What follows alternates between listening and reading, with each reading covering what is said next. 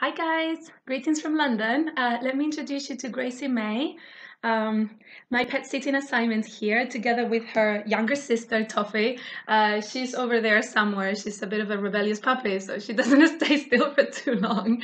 Um, like I told you in my previous video, I am here in London pet sitting for a couple of weeks.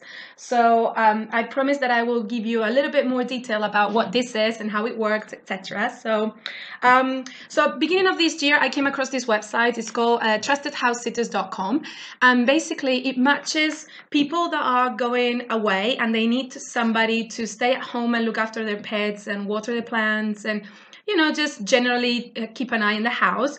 Um, and then with people like me that are willing to to do all of that in exchange for having a free accommodation for however long they need. Um, sometimes the people need to go on holiday or they're going away for work or they have a property uh, that they live half of the year etc so uh, the length of the stay can vary between you know a few days to a few months. Um, so, so far it's been amazing. So you signed up for the website, you create a profile, and then you start looking at what listings are um, suitable for you uh, that you're interested on, and then uh, to see if your profile meets the requirements of the family. And uh, I've had an amazing time so far because I was in Vancouver, Canada for three weeks.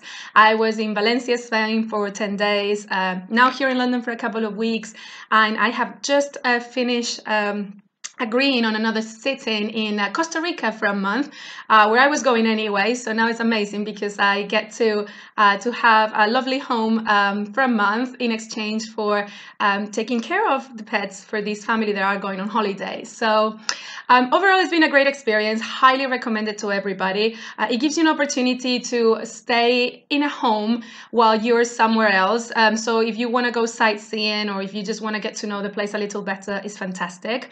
Or or if, like me, you work from home and you just need uh, somewhere nice um, to concentrate while you are surrounded by some puppy love, um, then it's also perfect. Um, my experience has been amazing. Um, I've met really lovely owners that have been very generous uh, stayed in, in great houses and the dogs so far has been so so great um, i just feel like it's a, a very beautiful relationship where you're doing something really good for somebody and they're also doing something really good for you and it keeps the pets happy the owners happy the sitter happy so what is not to love right if you're interested i am going to leave you all the details in the blog post um, and if you would like to join the website then i can um, just drop me an email and i can help you with that um, maybe refer you as well.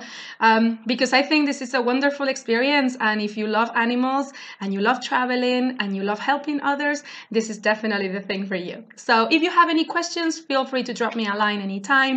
Other than that, I will be talking to you next, possibly in Costa Rica. Um, in a couple of days, I leave for Washington, D.C., but I'm going to be visiting friends there. I'm possibly very busy because I haven't been back for uh, two and a half years.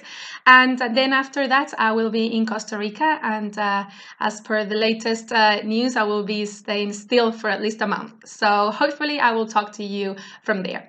In the meantime, just stay curious as usual and take care of yourselves. Ciao.